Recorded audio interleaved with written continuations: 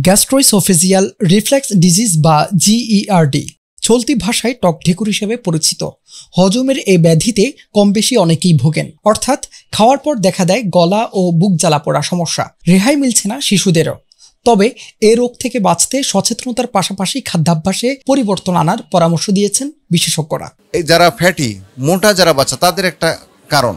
তারপরে rich food যেটাকে বলে, জ্যাঙ্ক ফুড যেটাকে বলা হয় যেমন আমরা অহরহ বাজারে যে খাবারগুলো খাই ফ্যাটি খাবার খাই, যেমন চিকেন তারপরে ভাজা পোড়া যেগুলো খাই, যেগুলো আমাদের অ্যাসিড বেশি হয় এবং এগুলো আমাদের আবার খাদ্যনালী উপরাংশে চলে আসে এবং বমি হয়।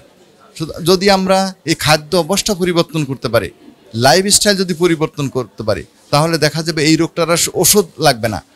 ওষুধ ছাড়াও ভালো হয়ে যায়। জিইআরডি সচেতনতা সপ্তাহ দু হাজার চব্বিশ উপলক্ষে রোববার বঙ্গবন্ধু শেখ মুজিব মেডিকেল বিশ্ববিদ্যালয়ে আয়োজিত এক সেমিনারে এই পরামর্শ দেন চিকিৎসকরা। সাধারণত এটি শুরুতে ক্ষতিকারক মনে না হলেও ভবিষ্যতে ডেকে আনতে পারে বেশ কয়েকটি দীর্ঘস্থায়ী অসুস্থতা। তাই সপ্তাহে দুবারের বেশি এমন কোনো উপসর্গ দেখা দিলে দ্রুতই চিকিৎসকের শরণাপন্ন হওয়ার কথা জানিয়েছেন তারা।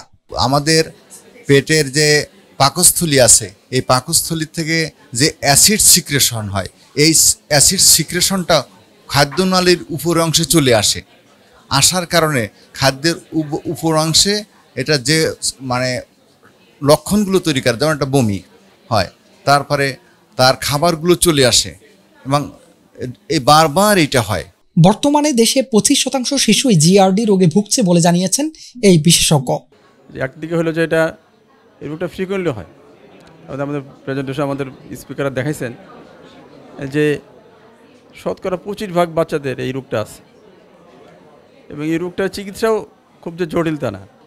কিছু খাদ্যাভ্যাসে পরিবর্তন, কিছু লাইফস্টাইল চেঞ্জ যদি করা যায়, তাহলে কিন্তু এই রোগটা মানে প্রিভেন্ট করা সম্ভব। শিশুদের বারবার বমিও এ রোগের অন্যতম লক্ষণ।